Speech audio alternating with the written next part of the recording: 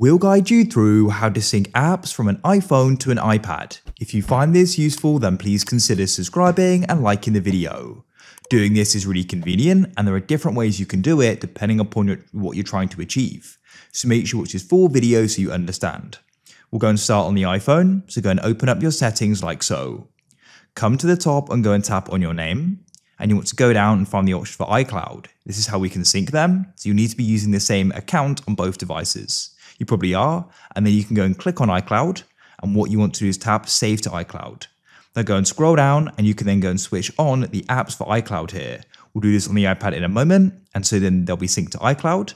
And what you can also do is come out of here, scroll to the bottom and press apps, find App Store, and you want to switch on automatic downloads so we can go and sync them across other devices. Now on the iPad, go and open up settings, tap your name at the top and go and tap iCloud. As I said, make sure you're using the same account.